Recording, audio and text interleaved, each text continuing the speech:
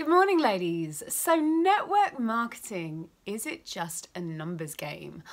I hear this bandied around a lot where people say, you know, it is a numbers game. If you just bring enough people in, if you recruit enough, if you build, build, build, eventually you're going to find someone who has all of the ready made skills, abilities, confidence, know how to run with this and take you to the next level.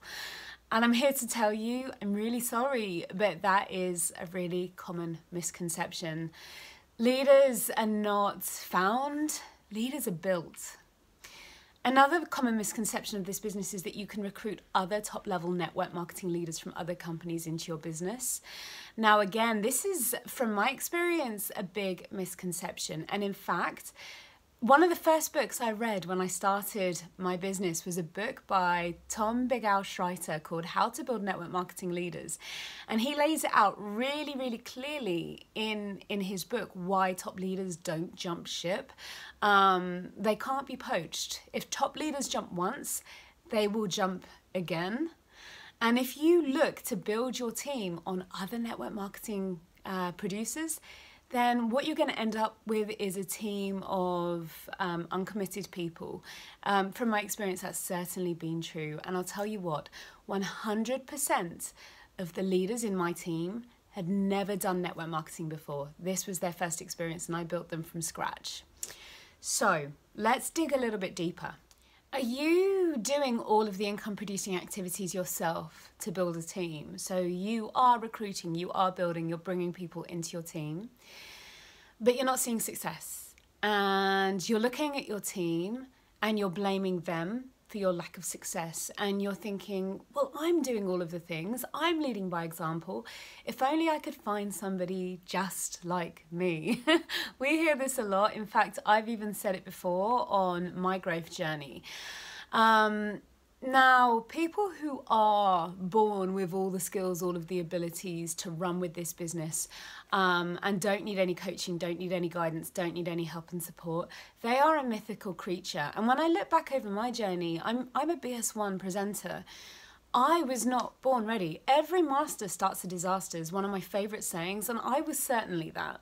I leaned on my upline a lot when I first started. I was asking questions, basic questions about kudos and about color matching and, you know, all of the stuff that, you know, you'd think a ready made leader would know. I went through that growth journey. I threw myself into self development to grow the skills and the confidence needed to sell and to recruit. And then when my girls were joining, I was you know, teaching them to do the same. I was plugging them into those resources to help them grow and learn. And then when I hit leadership level, I read every single book going on leadership skills, on how to get the best out of people, on how to motivate and inspire, on how to get people doing things that they wouldn't normally do, on influence, on persuasion, on vulnerability. I learned everything I could on how to be a good leader. And guess what? When my when my girls were getting to elite rank, when they were becoming leaders in their own right, I passed on this knowledge to them. I was recommending the same books to them so they could go on the same growth journey. None of us, none of my leaders, myself included, were born ready for this. We all started disasters and we had to grow and stretch into the role that we do now. So we're involved in the development of people. That's essentially what this business is. It's like I just said, it's bringing people in and coaching them to be the best possible version of themselves so that they can find their way with this business. So let's say you do manage to find somebody with all of the raw materials to do well in this business. Four things to look out for are um, character, coachability, the desire to do well and to succeed with this, and the willingness to work. Let's say you do find somebody um, with all of these qualities, you introduce them to the business, they too will fizzle out and fade away if left to their own devices, unless they have somebody to work with who is passionate, who is driven, who believes in them, and who is willing to guide them and point them in the right direction. Even if it's just when things go wrong, it's showing that vulnerable side, saying, Ah, I went through that too. It's not just you. This is how I came out the other side. It's about having somebody to constantly remind them what works and what doesn't work and what we should be doing and what sh- we shouldn't be doing. Those constant reminders to keep people on track are essential. So, a lot of you are going to be thinking, I just don't have that level of confidence as a leader yet to, to lead my team in this way. And what I would say to you ladies is try anyway because done is better than perfect. And what you're going to find is if you just show up for your team and you build relationships with the team and you try to lead them to the best of your abilities, as you go along, you're going to learn what works and what doesn't. And then partnering that with self development to grow yourself, you're going to figure it out as you go along. So, I mentioned it's also important to work on yourself. It's also important to keep up with your own self development. But there does come a time when you need to switch the focus from your own self development to the development of other people. So, the leaders in my team and myself, we have from the very first day in this business focused on building our confidence, on changing our outlook, on creating a success mindset, on learning the skills and the abilities to do well with this. We focused on that from day dot. Um, now imagine a team of people who are all working on those areas because the truth is, if we're only working on ourselves, there's only so far that we're going to be able to get. There's only so much production that we can do on our own. Network marketing works when you have a team of people all on the same page, working towards the same goals and growing themselves in the same way. So the focus really needs to switch from your own personal development to the development of people. Uh, one of my favourite sayings when it comes to success is My wealth can only grow to the extent I grow myself. But what if we switch that up for the network marketing profession and we said, my wealth can only grow to the extent that my team grows themselves? It's true. it's so true because we do have strength in numbers.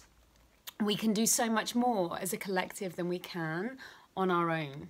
So the development of people, super, super important. And you do play a key role in this as a leader. It's your job to facilitate that culture of self-development, that culture of people growing themselves a lot of the times people will plug someone into the new starter group or they'll plug them into the training website they'll give them the very basic training to get going with this business and then after month one they watch them and just say right we'll see you know we'll see how you go we'll they leave them to their own devices and very quickly people fizzle out they fade out people don't pick it up on their own. They don't figure it out on their own. Even now, my leaders come to me all the time for help and support, and I'm there for them when needed.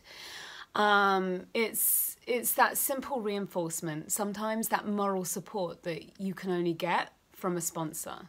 So it all starts with us taking responsibility for our own self development when it comes to leadership. So the books that I would recommend for leadership is anything by John C. Maxwell. So um, the 21 Irrefutable Laws of Leadership, the five levels of leadership, Leadership 101. Um, there's a great book by Brian Carruthers called Building Your Empire. Big Al Schreiter, How to Build Network Marketing Leaders. It teaches you how to be a leader more than how to build other leaders. The Power of Vulnerability by Brene Brown and how to win friends and influence people. So that book is amazing for building your communication skills, but I feel that it's also amazing at turning you into a leader because what is leadership other than influence? And then once you've taken responsibility for your own personal development, it's about taking responsibility for the personal development of others. And I'll tell you what, there is nothing in this business more rewarding than watching people grow. No amount of money, no amount of trips can compare to the feeling that you get when somebody messages you telling you that you have had a big impact in some way on their life and on their family, even if it's just by recommending books for them to read and just being there for them, you know, when times get hard. Nothing can compare to that feeling. So, a lot of the time, people look at their team and they say, There's no one I can work with now. No one is working. Nobody seems to want this as much as I do. And what I'll say to that is don't judge people on what they are now, judge them on what they have the ability to become. Because sometimes life can absolutely knock us sideways, and that leadership quality can remain hidden. But with the help of self development and with a good mentor, people can chip away at the blockages and the, the things standing in their way to reveal the leader in them. That's our job as leaders to help people do that. Um, but obviously, we can't work with absolutely everybody. Um, so, the four things, I'm going to repeat them again the four things to look out for in who you work with is coachability, character, willingness to work, and the desire to do really well with this. Now, I also want to distinguish between a top leader and a top producer because they are not the same thing they are not mutually exclusive. Sometimes you can get a leader who is not a top producer. I'm one of them. I'm the first to admit that I am not a rock star seller. I don't sell thousands and thousands every single month. Um, but I am a good leader. I'm good at knowing how to bring the best out in people, how to inspire them, how to motivate them, how to create vision, how to help them see the bigger picture and help them through the hard times. That's where I'm good. But you can also get top producers who are not top leaders because they haven't learnt those skills yet. So if you're one of those people who's recruiting, recruiting, recruiting, and you're built bringing people into the business, but you're not seeing success yet, then I would say you need to work on the leadership side by reading those books that I have just recommended. And you know to switch the focus from your your own results and being the best at everything you do to helping the ladies on your team bring out the best in them. So, um, where do you gauge yourself as a leader? Um, there is something called a leadership lid. This is something that John Maxwell teaches. And if you gauge yourself as, let's say, a level five or a level six, then the people in your team are only going to grow to a level four, five, or six. They will literally not grow past you. Sometimes that does happen, very, very rarely. You are setting the lid for the leadership level of your team. So the more you grow yourself, your team will come with you, the more they will grow. The other thing I want to say about the leadership lid is that you are going to attract people to your business who are on the same leadership level as you. So if you see yourself as a three or four, then, you know, the people who join your team are going to be threes and fours. So, how do you get higher? Self development, working on your leadership abilities, practicing your leadership abilities. Somebody of a leadership level seven or eight is going to look at your abilities as a leader and it's going to affect their judgment as to whether they partner with you. So, the quicker you can up your you know, you can up your level as a leader, the quicker your team are going to grow with you and the quicker you're going to recruit people of a higher leadership level. Does that make sense? okay, this, this video has gone on way longer than I wanted to, so I'm going to wrap it up there. I hope this has been helpful to people. If it has, please um, share with your teams and don't forget to hit the subscribe button and I'll see you next time. Bye.